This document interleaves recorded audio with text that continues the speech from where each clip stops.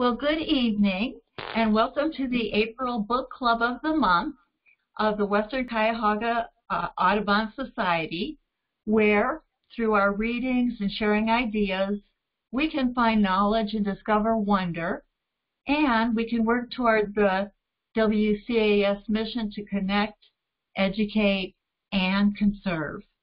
My name is Drina Nemes. I'm a relatively new member to the Western Cuyahoga Audubon Society, drawn to it by my love for birds. And recently, I've been retired after 45 years as a nurse, and I was ready for an activity like a book club, especially being about birds and nature and the environment. This book group just began last September. Gloria Ferris was the host, and Betsy O'Hagan is a technology wizard and collaborator. and out of the limitations of the pandemic, they created this virtual book club with two programs per month.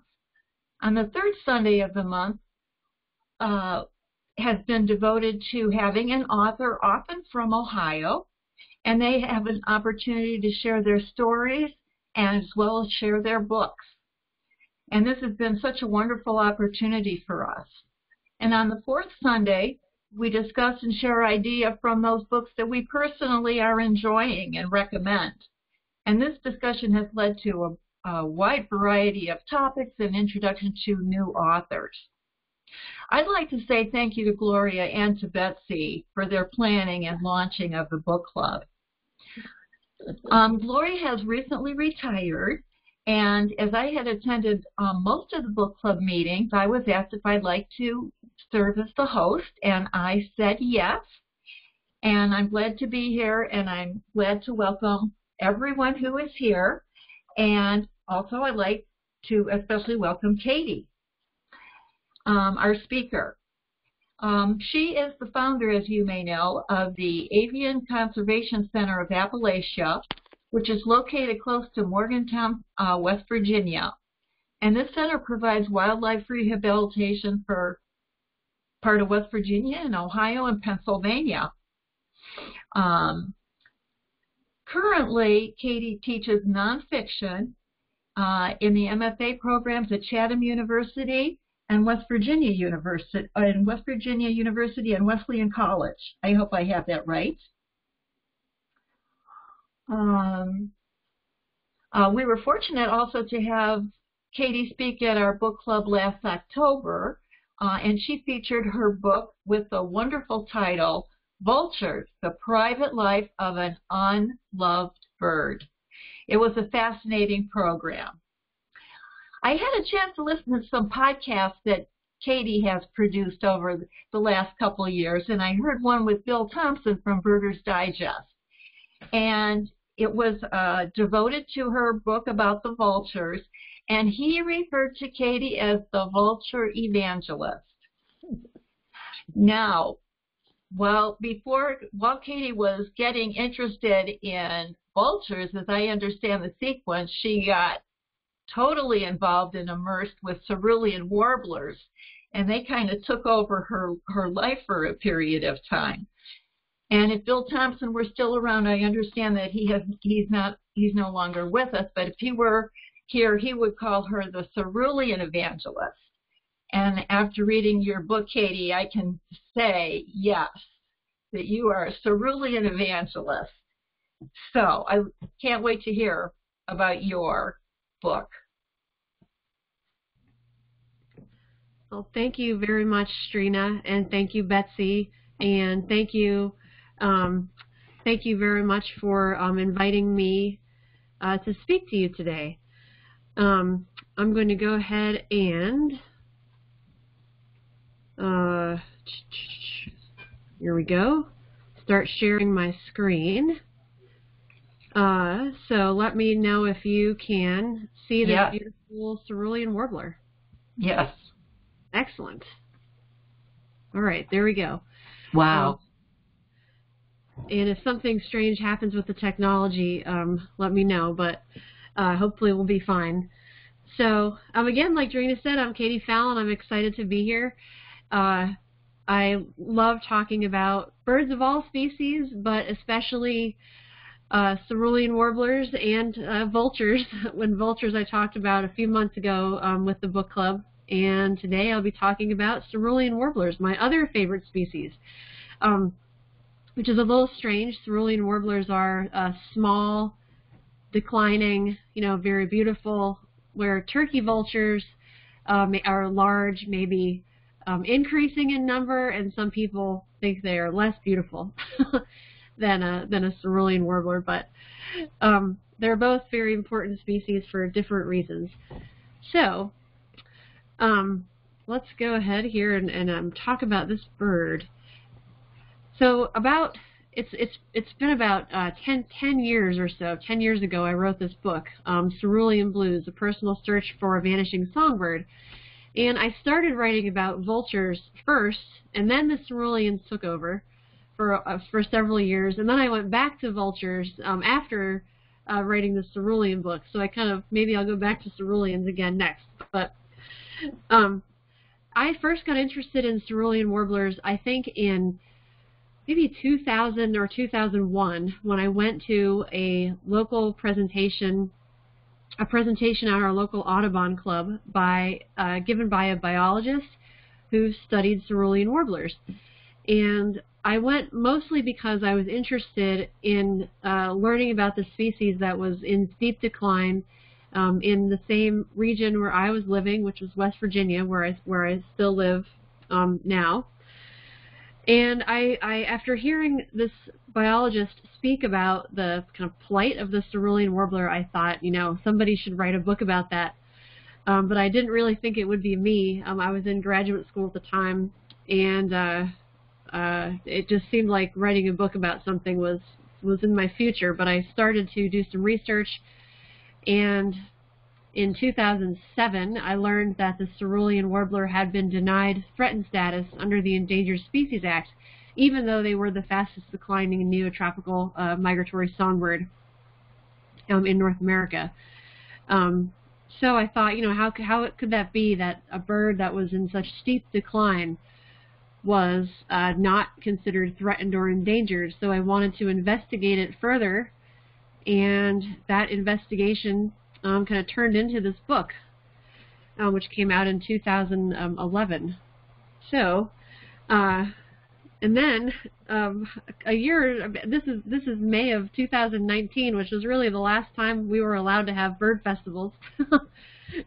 um, this is at the New River Birding and Nature Festival, which is in southern West Virginia, uh, in the New River Gorge area. And now, um, some of you may know that there is a new state park, or sorry, national park, New River Gorge National Park, just was um, made a national park a few months ago.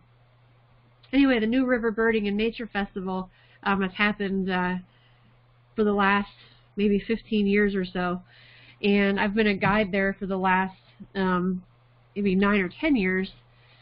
And last year, or gee, 2019, it feels like it was last year, uh, we caught a cerulean warbler in the mist nets that were set up at the festival. And this is um, Dr. Bill Hilton, who's a bird bander from South Carolina, who sets up the nets. And this is the first time that he had caught a cerulean in the mist net. And uh, my husband said, you should go get a copy of your book and introduce the cerulean to the book. So Uh, so it was a little silly, but we had to do it. So, anyway, um, now to talk about the bird itself and not not just um, my obsession with it.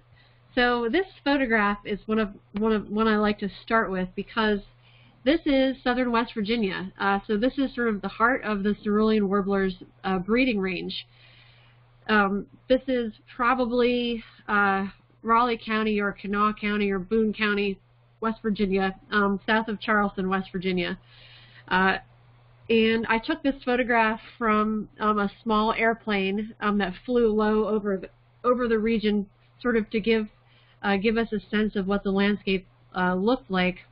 Um, and this was the only picture I, I had from my trip that didn't have, you know, too many signs of humans in it. It just sort of looked like um, those old Appalachian mountains um, covered with a nice hardwood forest.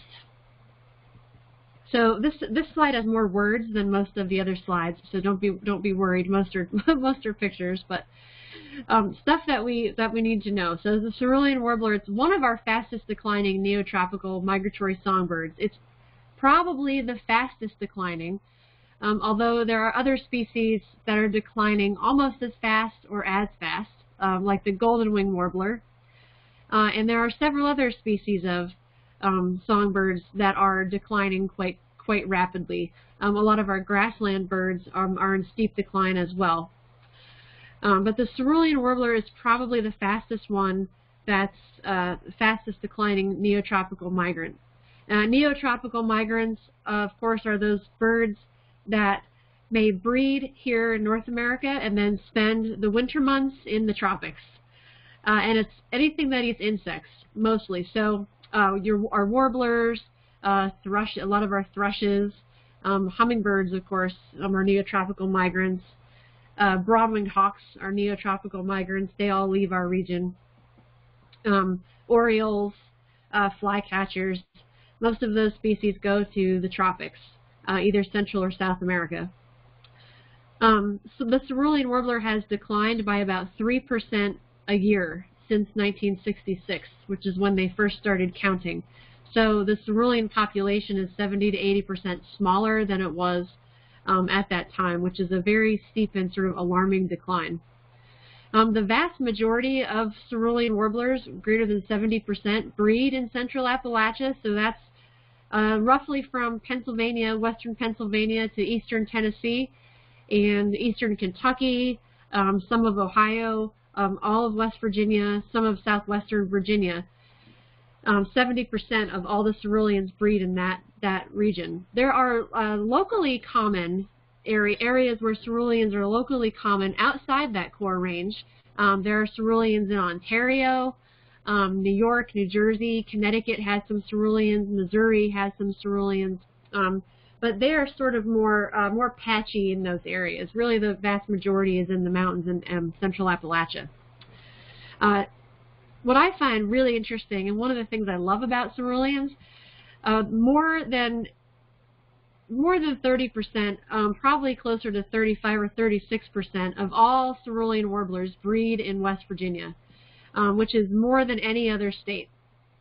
Our state bird is the northern cardinal, um, along with you know six other states, I believe. But I think we should change that um, because uh, the cerulean warbler is really a really special bird, and we have you know uh, more than a third of the global population breeds in West Virginia, which is really amazing. We also have more um, wood thrush than any other state. Uh, I think Pennsylvania, I think, is a really close second. Um, in, in this region, central Appalachia, ceruleans prefer to nest in large tracts of mature to old growth hardwood forests on ridges. Um, they like uh, a canopy that's, that's patchy and fairly a diverse canopy structure, so some really tall trees, some smaller trees, uh, some vines in the middle. They don't like sort of this closed canopy. They like a forest that's sort of um, uh, a, a canopy structure that's um, has some different different layers, if that makes sense. So if you think of a very old forest where you would have some really large, big, super emergent old trees, and then some smaller trees kind of around them, um, and then some gaps in the canopy, like where a big old tree would fall down. Um, those are the kind of forests that ceruleans like.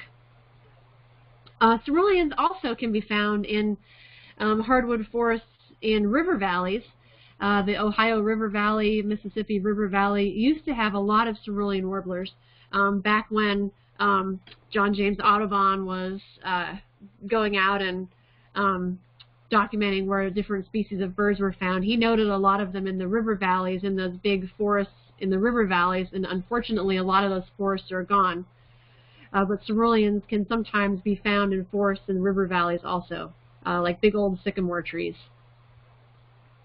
So, um, this is uh, just a range map from um, the Cornell Lab of Ornithology that just shows where ceruleans are. So the orange is where ceruleans breed. Uh, you can see there are some patchy orange areas, places besides um, central Appalachia. And I, uh, I sort of you know, forgot Michigan has some, um, and some of those other uh, other states, sort of in that that great those Great Lakes states. Uh, you'll notice the yellow is their migratory, this, the migratory path, so you may see ceruleans in some other areas during migration. Even though this looks like, from this map, uh, that ceruleans, you know, travel along the Gulf Coast, most biologists agree that they are a trans-Gulf migrant. Um, although, interestingly, some geolocator data, some biologists have been able to put very, very tiny geolocators on male ceruleans to see, try to figure out exactly where they go on migration. It's, it's labor intensive because you have to recatch the same birds and take the geolocators off them and then download the data to figure it out. So it's not as easy as putting a big solar transmitter on a turkey vulture, you know, or an eagle. Um, but they learned that on the fall migration, the birds were moving um, somewhat more slowly than spring. And they, they had only four male birds in this study um, that was done in southern Indiana. Uh, of the four male ceruleans that they were able to recapture, two of them flew right across the Gulf of Gulf of Mexico from sort of the uh, Mississippi River Delta area across the Gulf to Central America, whereas two of them crossed over Cuba uh, which was interesting and unexpected. But then on the spring migration, on the way back, um, they all went over over the Gulf, not over the Caribbean. So two of them went down one way and back up another way, which is which is kind of fascinating. Um, and then that uh, blue here in South America is where ceruleans spend um, the winter time in the northern Andes of northern South America. So these aren't the big snow-capped Andes that you sometimes think about in Chile or Argentina. These these are sort of um, smaller Andes. They're kind of the foothills of the Andes. Uh, they look a lot like the Appalachians, actually, and I've got um, some pictures in a, in a few minutes. But um, coming back here to, to West Virginia for a minute, this picture is, is what I when I picture cerulean warbler habitat, this is sort of what it looks like to me. It's a slope.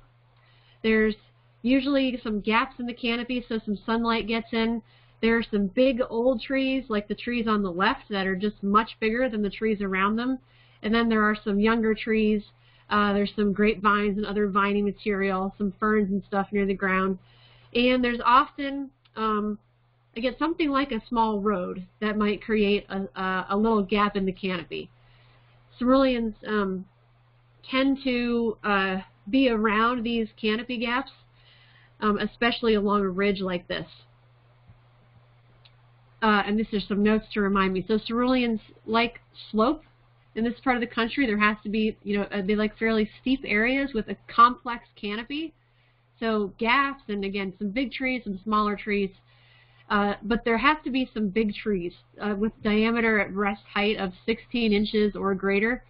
So if you think about 16 inches or greater, that's a pretty big tree. Um, there, there have to be some of those big trees um, in the forest for ceruleans to really uh, prefer prefer that area.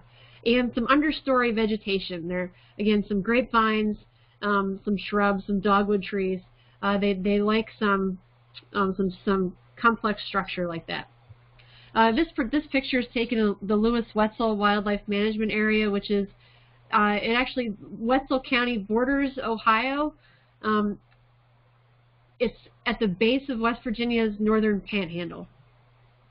Uh, it's a pretty low population county, um, and interestingly, it doesn't look like this anymore. Uh, there, there's a lot of natural gas drilling happening in Wetzel County, and the uh, a lot of the uh, nice small roads like this have been made into sort of bigger access roads, even in the wildlife management area, um, which is sort of a topic of maybe another longer presentation. But uh, gas gas drilling in this region has um, they've documented the studies are coming out now that it has had a negative impact on interior forest songbirds, um, of course, uh, because it makes too that it uh, fragments the forest too much for them.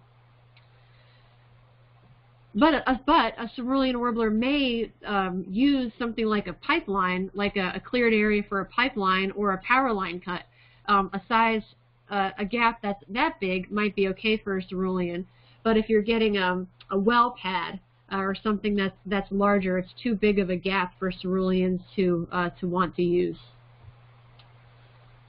So, um, cerulean warblers, just some of these basic basic facts. They usually stay in the canopy. So if you're out bird watching, this is a bird that will give you a sore neck. You know, it's way up in the tops of the trees. Um, it's very, it can be very difficult to see. Um, they're they're uh, they're very small um, and tough to see up there. They're eating caterpillars, uh, spiders, leaf hoppers, um, other small insects.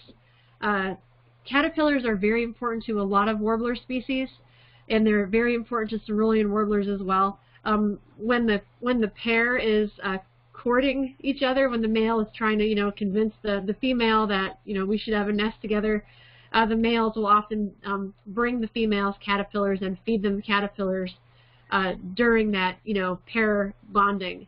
Um, so caterpillars are are um, pretty important to cerulean warblers. They, these little guys only weigh 9 to 10 grams. So uh, 10 grams, it's about the weight of two nickels. Um, it's a very, very small bird. Um, if you if you want to compare that to something like a screech owl, uh, which is also pretty small, a screech owl can weigh about 200 grams. So a 10 gram bird is is uh, you know tiny. Their wings, they can sometimes look like they have long wings if you're looking at them from beneath through your binoculars, but their wings are only two and a half inches long. Um, so 66, 66 millimeter wings. Um, it's just a, an amazingly small bird that something this size can, you know, fly across the Gulf of Mexico twice a year. kind of amazing. Uh, ceruleans have parallel white wing bars too. So if you are ever in the situation where you can see a cerulean's wing bars, if you are, if the slope is such where you can look out and see them, you can see the parallel white wing bars. Uh, but often when I'm looking at ceruleans, it's like this. Um, this is the view I usually get, which is just from underneath, and you can you can see that uh, blue-black uh, necklace the male cerulean has, which is one of the things. If you see that thin necklace, you know you're looking at a cerulean. Um, other warblers with necklaces. Um, a Canada warbler has a necklace, uh, and a, magnolia warbler can sometimes have sort of a necklace, but those necklaces are splotchier and a lot larger than the cerulean has a thin, thin blue-black necklace. Uh, and again, this is what you'll have to do when you're out bird watching, and there's a cerulean above you. Uh, this is also southern West Virginia, and this is the small, the kind of small road that makes a little gap in the canopy. And there is a male cerulean singing um, right over our head in this picture. Another way you can look at ceruleans is just to, you know, lie down on your back on a road and and save your neck. Uh, it, it takes a little bit of getting used to at first, um, but once once you do it, you know, give it a try. You can you can save your neck and look up at the ceruleans in the trees, and just check yourself for ticks afterwards. But uh, it's one of the best ways I've found um, to see ceruleans. And this is just a gorgeous photograph that I like to include just to show how blue that male's color is. This is not a photograph I have taken. Um, I've had, I have some friends who are really good photographers who send me the pictures and allow me to use them in presentations. The pictures that are, the photographs that are bad are ones that I've taken. Um, but that male, male cerulean warbler has got a blue that's, it's quite different from most other birds that are blue.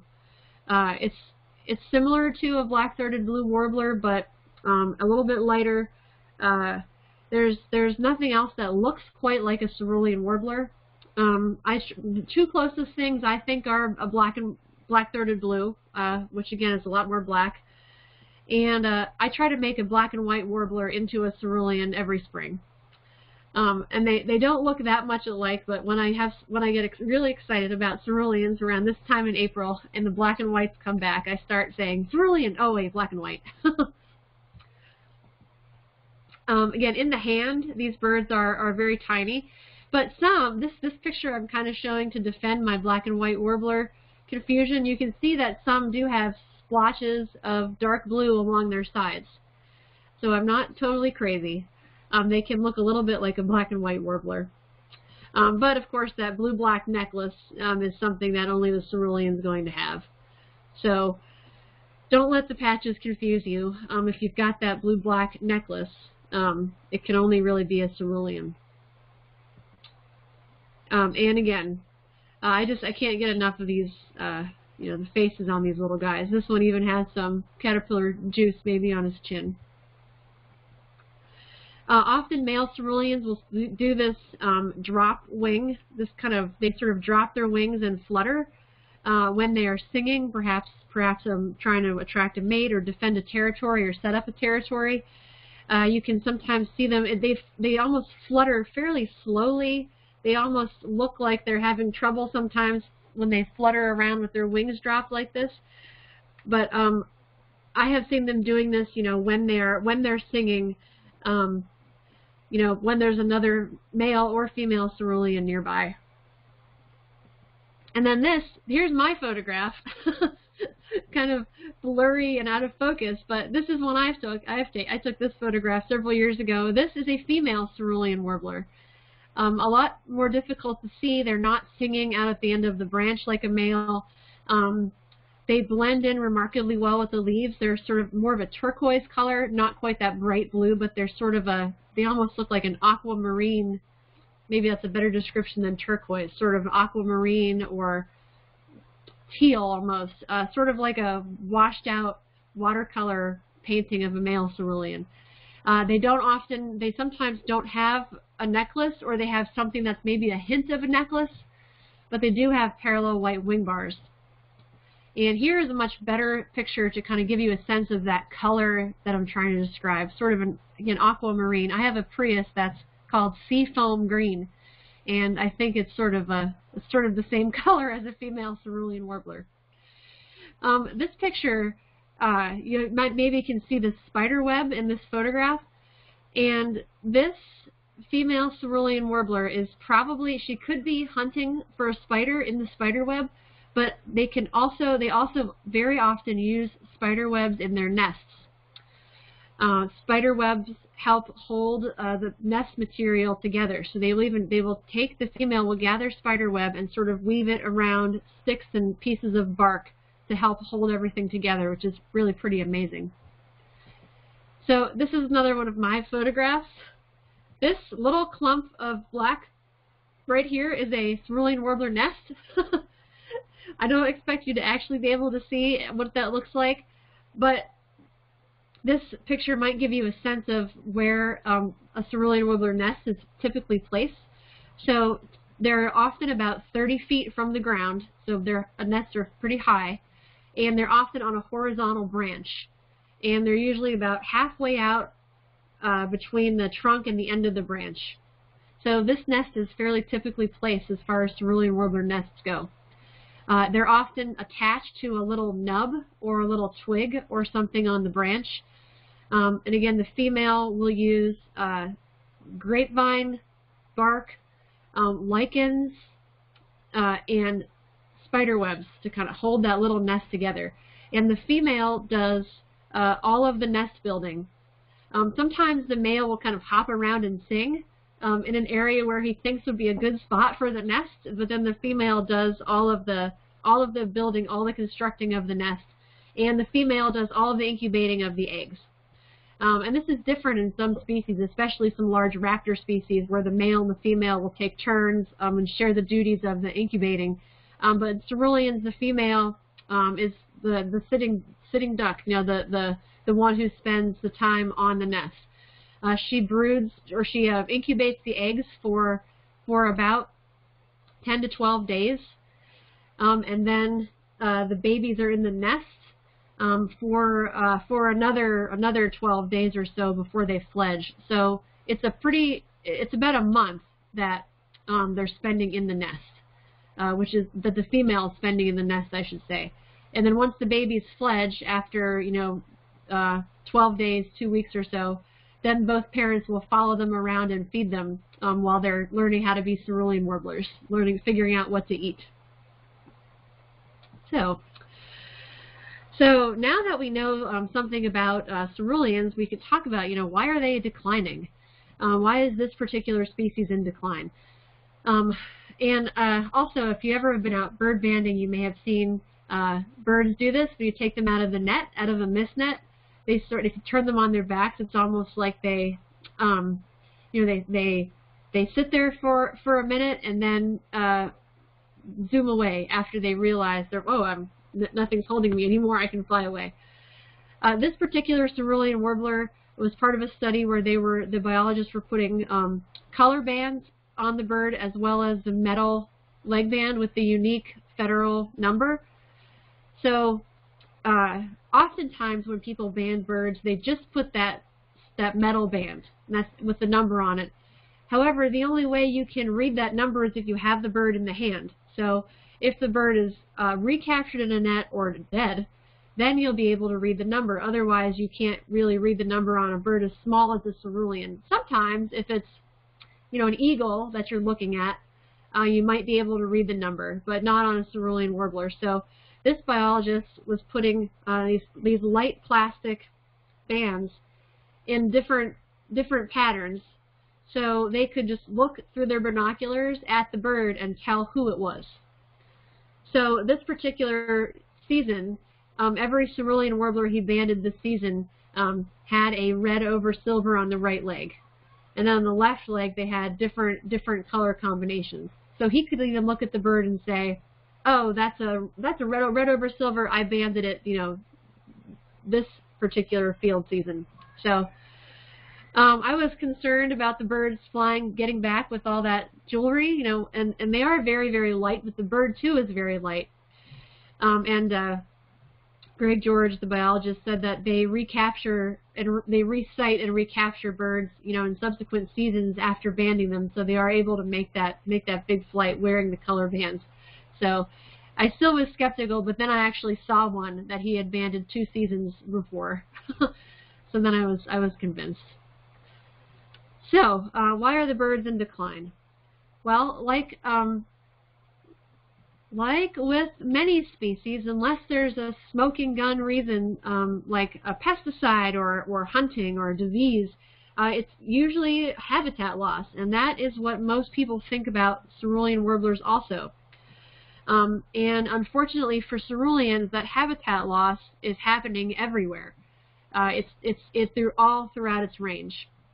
Um, and there there are some folks, some some um, papers I've read that suggest that the habitat loss in the tropics may actually be uh, worse than the habitat loss in the breeding area, and that there there are some areas uh, where it seems like we should have ceruleans during the breeding season, but they're not there, um, even though uh, they should be. You know, so they're they're it's it's possible that that um, loss in the in the non-breeding season is uh, having a, a big effect on them, uh, or a, or a, uh, more than the habitat loss in the breeding. But I don't think we know that for sure. So this is my favorite kind of map. Um, if you have never, if you get on Birds of the World ever uh, or an eBird, this is cerulean warbler abundance throughout the year. So I'm going to play the map. So um, so watch where ceruleans go. Here's where they are in January, down in South America. Then in March and April, whoa, there they go. and there they are uh, in the breeding season, and then, shoom, they all go back. Uh, if you ever want to see a huge contrast, you know, watch the cerulean warbler, you know, uh, migration, and then go to a go to the turkey vulture map and watch the turkey vultures.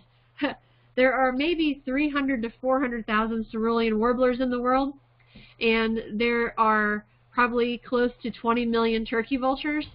So the, the map looks quite a bit different, uh, the abundance map. But you might notice when you look at where they are in the tropics, they are in these bands. Um, they're not sort of covering, you know, Colombia, Venezuela, um, Ecuador. They're in these bands, and those are mountains. Um, so they, they are in the mountains um, Colombia has three parallel mountain ranges, and ceruleans can be found on all three of the mountain ranges in Colombia, um, kind of in the, the uh, middle elevations of those mountains. Oh, I didn't mean to make us watch it again, but it's I could watch that all day. so I pulled up where where you are, sort of near Cleveland. I I pulled up um, sightings of cerulean warblers, and it looks like you have quite a few sightings um, around uh, around around where you are. Uh, ceruleans, of course, migrate um, you know across the up to Canada, um, going through uh, going through um, Ohio on the way to Canada. So you will definitely see ceruleans during migration, um, even if you don't see them uh, breeding, but they certainly do breed there also. So here in West Virginia, um, this is one of the uh, one of the reasons, one of the causes of habitat loss here, uh, deforestation and fragmentation, you know, including natural resource extraction. and in this case, the natural resource being extracted is coal.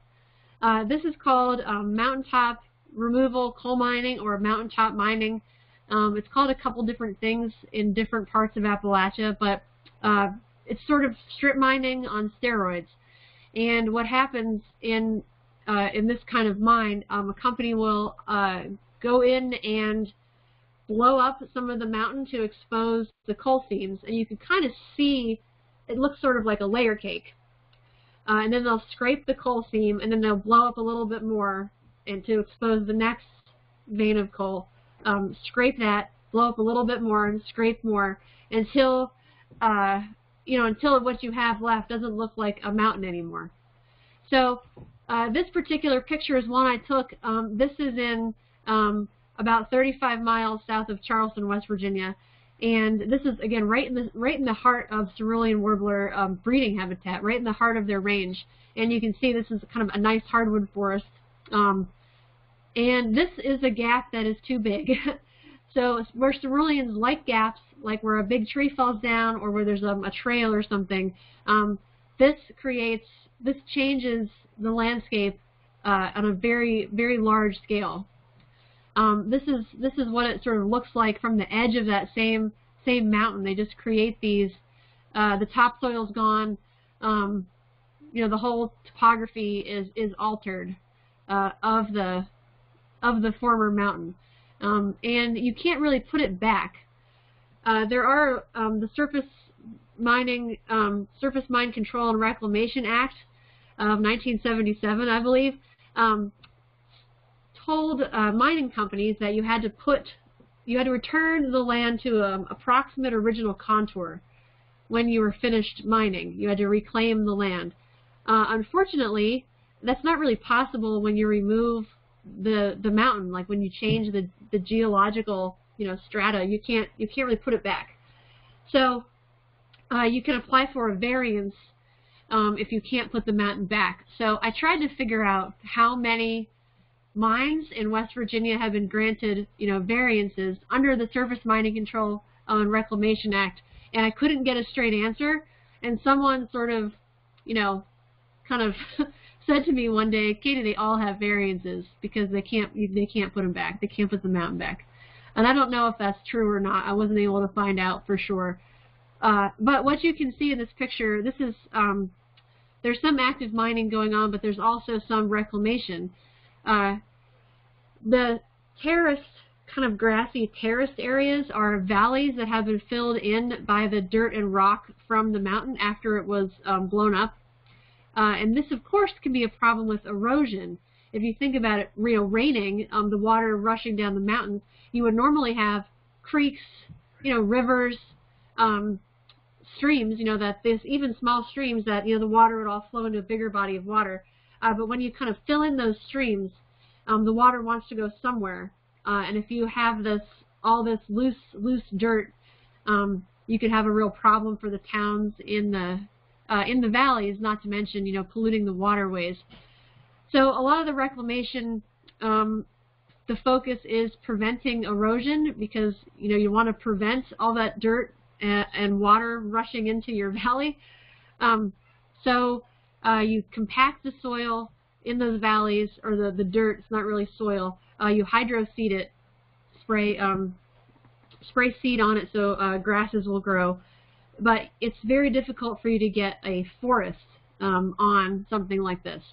Uh, if you want, there is a group called the Appalachian Regional Reforestation Initiative, and their mission is to kind of go into uh, former strip mines, former mountaintop removal mines, and kill the non-native grass species, um, churn up the dirt, uncompact the soil, bring in topsoil from somewhere else, and then hand plant trees.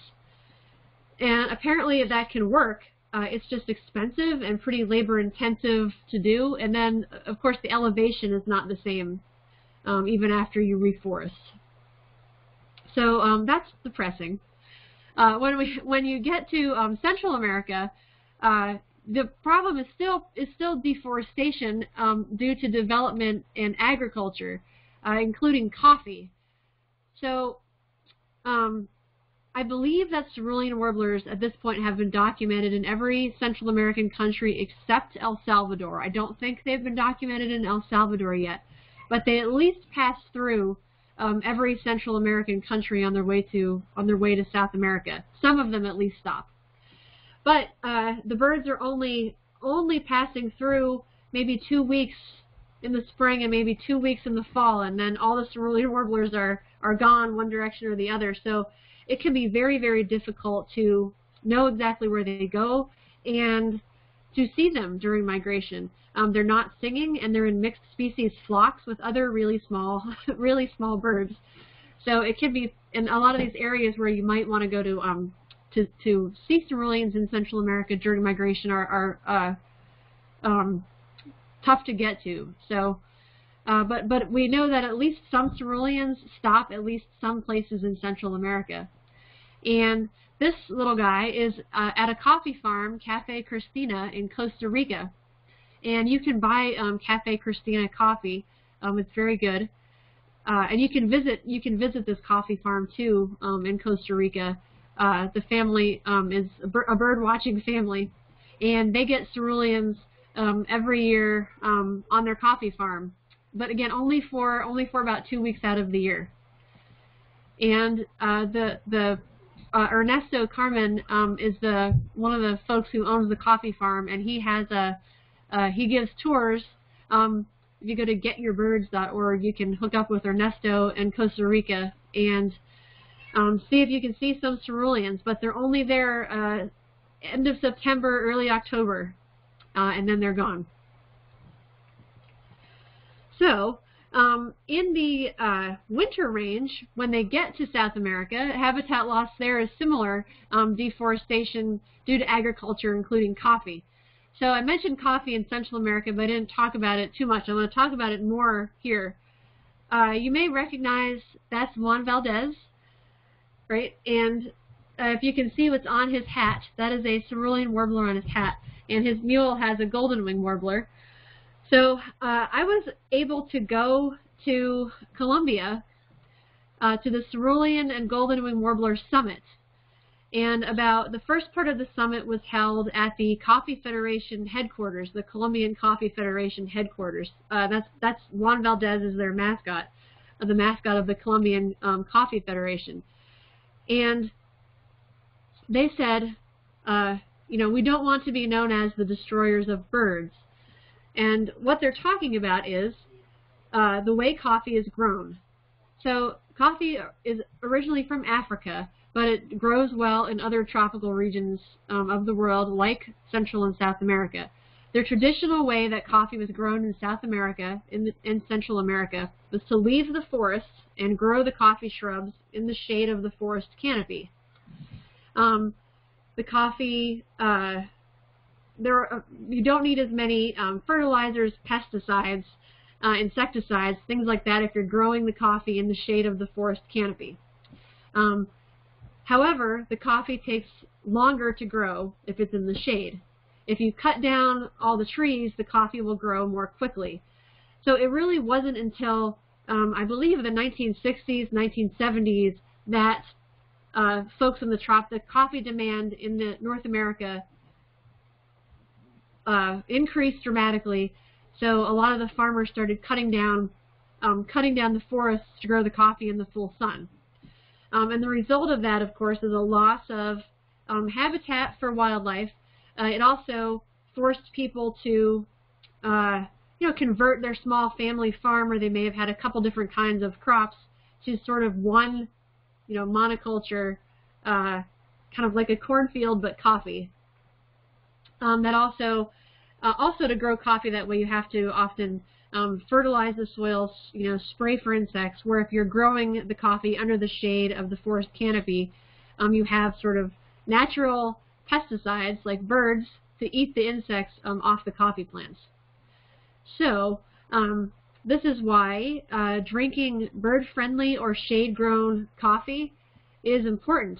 Uh, one of the biggest surprises that it's been very surprising to me, giving talks about cerulean warblers to birdwatching groups and Audubon groups, um, how few people had even heard of shade-grown or bird-friendly coffee before. Um, it's it's uh, for some reason it's not um, not something people know know a lot about.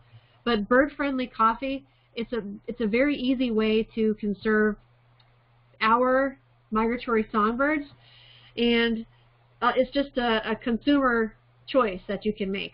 So the Coffee Federation folks said, you know, we don't want to be known as the destroyers of birds. We love our birds. We don't want to destroy them uh, to grow our coffee. But if you want shade-grown coffee, you have to give us a market for it. There has to be a reason for us. To, we have to be able to sell it. We have to be able to turn a profit.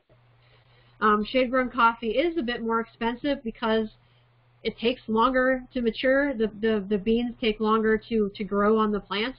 So uh, they can't, folks can't pick the coffee and sell it as quickly. So it does, um, it, it does, is a little bit more expensive, but it's better tasting because the coffee is it's richer. The bean is on the plant longer. So, um, the next the next handful of pictures, the second part of my um, trip to the Cerulean and Golden Warbler Summit was to visit the Cerulean Warbler Reserve. Uh, you might look at notice the bird on that sign it has two parallel white wing bars and a, a necklace. So this is the Cerulean Warbler Reserve. It's 550 acres in uh, northeastern Colombia. Uh, it's it's the first Latin American reserve dedicated to a bird that breeds in North America. And uh, a lot of the reserve is Colombian oak forest. And then uh, some of the reserve is uh, shade-grown coffee or coffee coffee plots that they are trying to restore to shade-grown. Um, and I'll show you what I mean in a minute. So this is some of the intact forest. Uh, it was just incredible to walk through. And if you think about the pictures from a few minutes ago of what you know the forest looks like in West Virginia, um, it's not altogether different. There are some large trees, some smaller trees, some vines, some um, some understory vegetation. Here's one of these big kind of super emergent trees, and uh, you know different species of trees than we have here in West Virginia. But the slope was similar. Um, the feeling in the forest was very similar. Um, again, large trees, smaller trees, and a lot of understory vegetation and some vines. Um, rocky outcrops. I mean, it was it was a again a very similar feeling to the forest in West Virginia, except there we were looking at species like toucanets, um, you know, oropendolas, and uh, a lot of different tanagers, um, different species than we have here, but uh, the forest had a very similar feel. Um, so shade-grown coffee. This is an infographic that I took that I've took taken from the Smithsonian Migratory Bird Center. So bird-friendly shade looks like a forest. So that all the way on the right is what bird-friendly shade would look like. Partial shade, um, where you might keep a few trees or some fruit trees, but cut down most of the forest to grow the coffee. Uh, there are still birds in partial shade, and there even are still birds in sun-grown coffee. But if you look at the, the species, this is from their fieldwork in Peru, you might you only would have 61 species, which still sounds like a lot to me, in the sun-grown coffee plots, but in the bird-friendly shade-grown coffee plots, you would have 243 bird species. Uh, the Smithsonian Migratory Bird Center is usually considered um, the strictest certifier of coffee. Uh, if, if you buy coffee with that Smithsonian Migratory Bird Center decal on it that says bird friendly, you can be confident that the coffee you're getting protects songbird habitat. And I'll show you what that, in a couple of slides, I show you what that certification looks like. Um, this is what a coffee plot, coffee growing in the full sun would look like, where you would take the forest, like in the you know forest that looked like this, and you cut it all down, you're left with something that looks like this. So this is coffee growing in the full sun. Um, there are banana trees and trees with plantains kind of lining a lot of the coffee plots, um, but obviously there aren't any big big trees here, um, nothing that looks like a forest. Uh, this coffee plot's a little bit better. It has you still it has some trees left over the coffee shrubs, and some of these plots here in these pictures, um, the plan is to let these trees grow and to plant more trees to kind of reforest this particular um, part of Colombia, but it will take a while. Trees take a long time to grow often. Uh, excuse me. But this is still not what you would normally picture when you think of shade-grown coffee.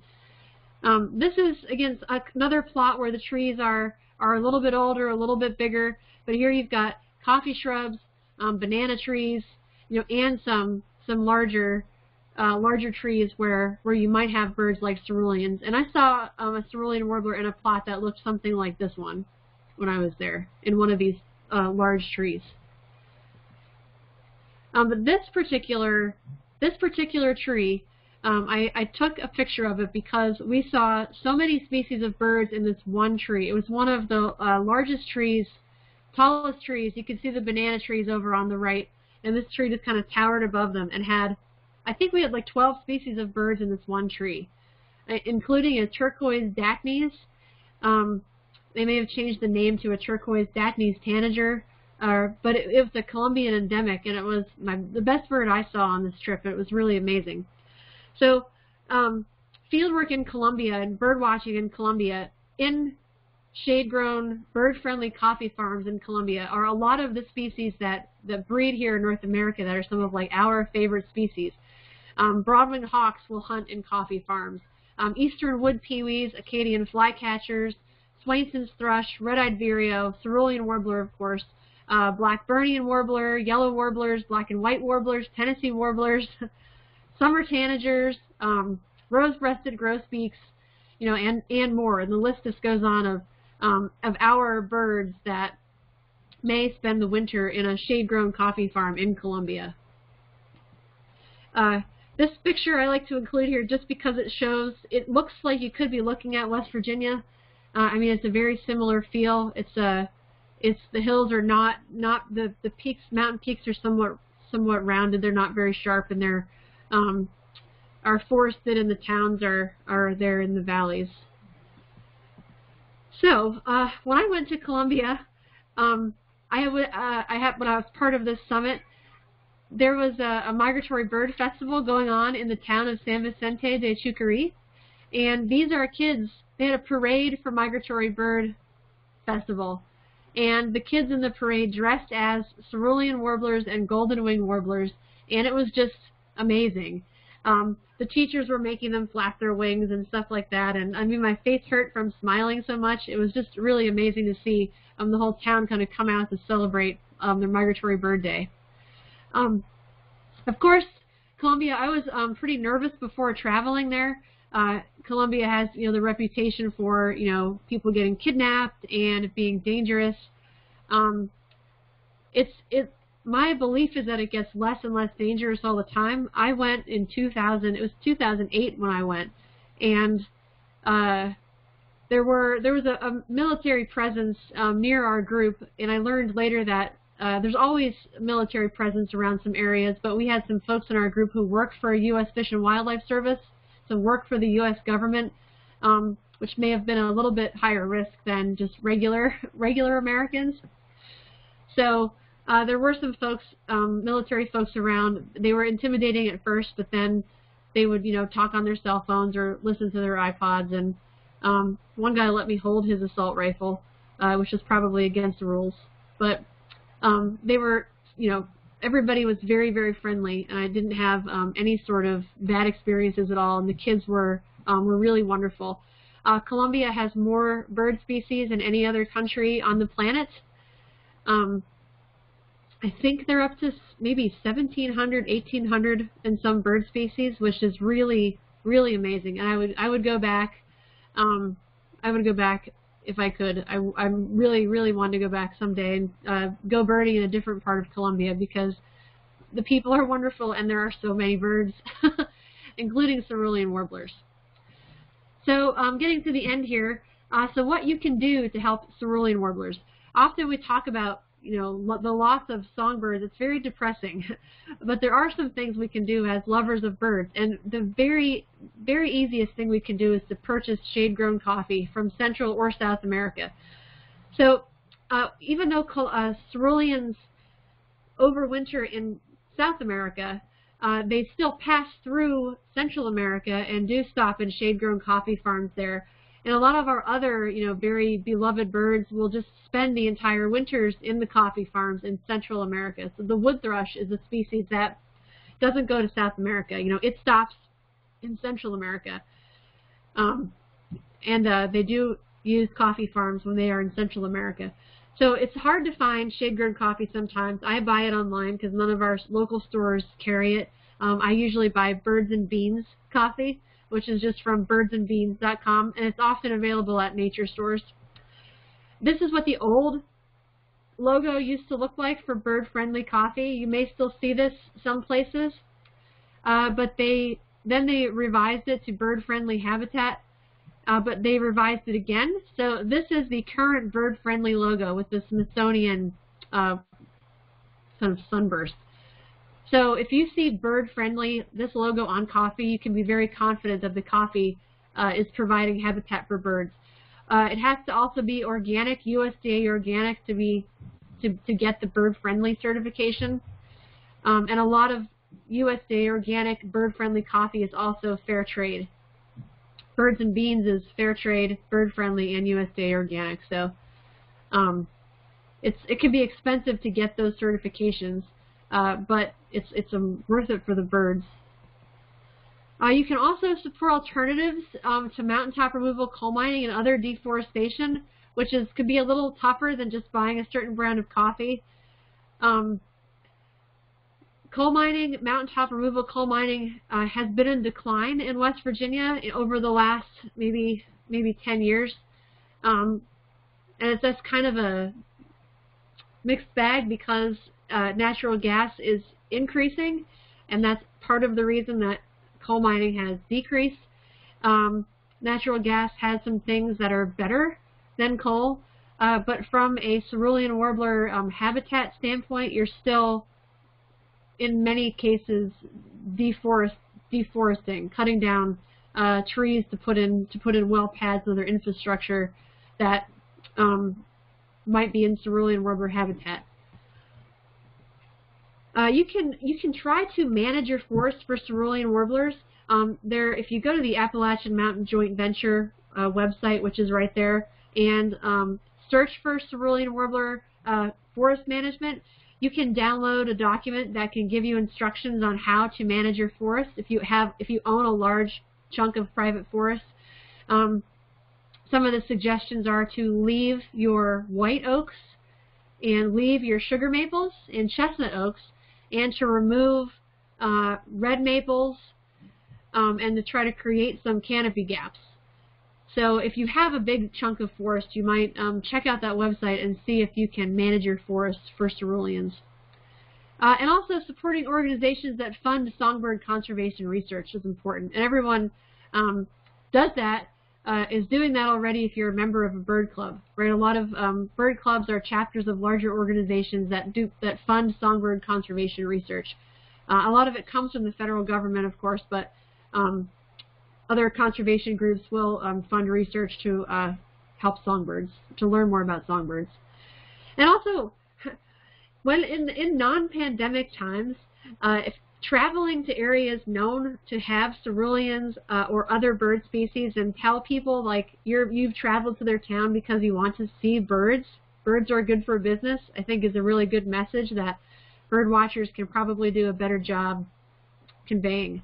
Um, I know that I'm guilty of, uh, you know, I'm not. I don't always tell people I'm here to see your birds, but uh, it might be good a good practice. So, um, thank you very much for for listening. Uh, this was going to be the cover of my book, and then someone said they thought it looked like a cookbook cover, like we were going to eat the bird. So we didn't we didn't we didn't use this uh, we didn't use this one.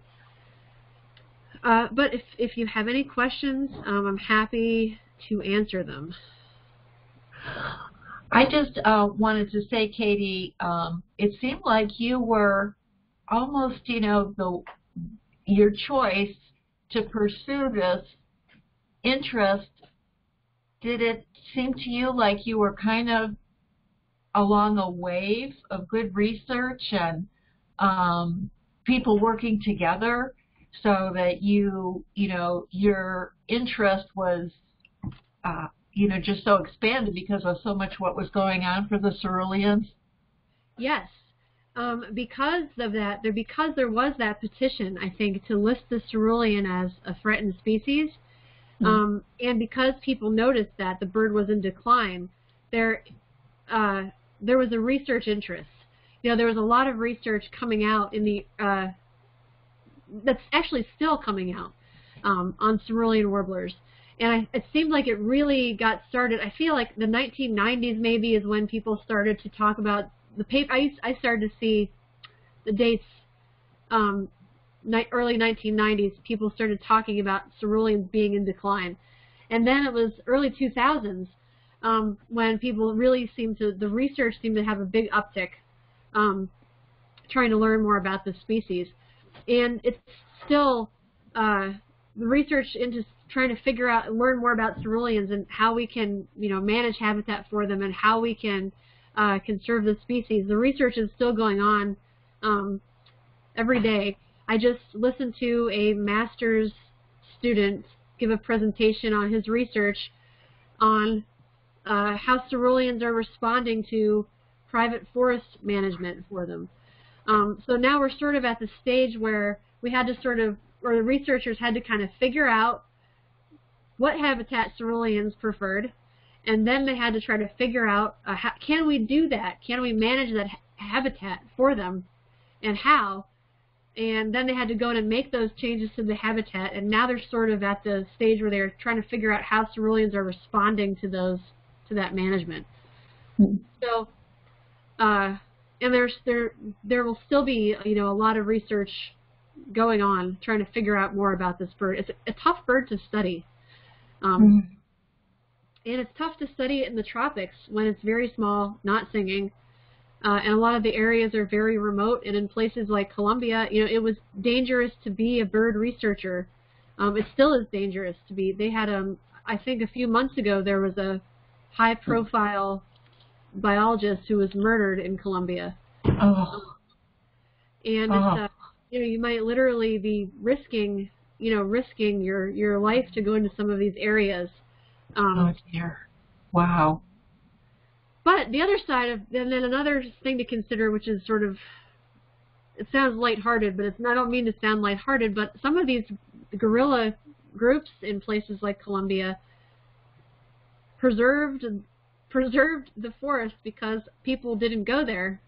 Um, mm. However, uh, Colombia uh, had a big problem with landmines um, because as these guerrilla groups sort of de uh, decommissioned or or whatever whatever you say it um, disbanded, they would sometimes um, leave leave things like landmines behind, uh, which can also be quite dangerous if you're walking through remote areas of the forest trying to study birds. So um, it's a difficult bird to study, and uh, but it's a very beautiful, charismatic bird. I mean, there's nothing quite like a, a cerulean warbler.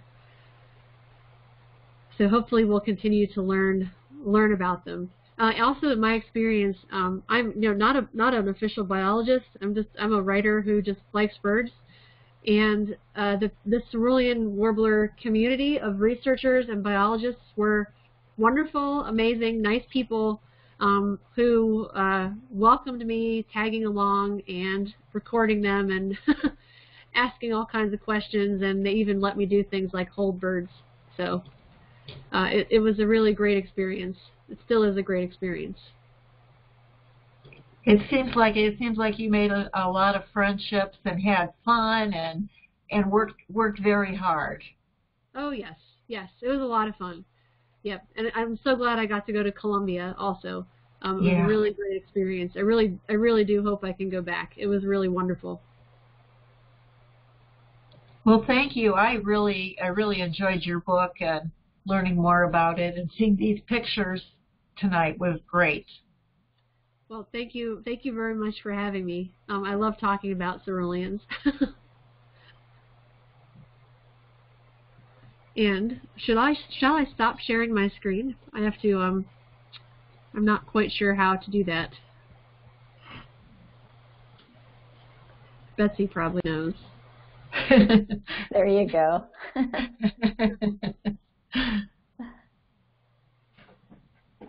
I'm so glad that you brought in the the uh, shade grown coffee component. You know, Western Cuyahoga Audubon Society sells um, uh, the Birds and Beans coffee on the website store. Excellent. And has been doing so for a number of years, but and it's so delicious. Once you try it, you won't really won't want to drink anything else.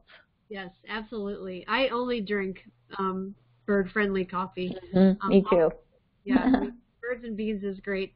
Uh, mm-hmm. Very nice, very nice folks too who run the run the company. Yes. Mm-hmm. Yeah. Uh, and I I um uh, I'm I'm one of the one of Birds and Beans uh, voices for the birds. Oh. So, so they will uh, uh, occasionally I will go out and sort of talk about coffee um, on behalf of Birds and Beans. Um, and my um, my our nonprofit um, Avian Conservation Center of Appalachia sells sells birds and beans um, as a fundraiser, um, and it's uh it's it's great coffee. It all, all Mm-hmm. I, I don't even have a favorite roast because they're all good. I know. I agree. Mm-hmm. I agree. Thank you so much. This was really wonderful. It was. Thank you. Yeah, thank you. Great, thank you, thank you for having me.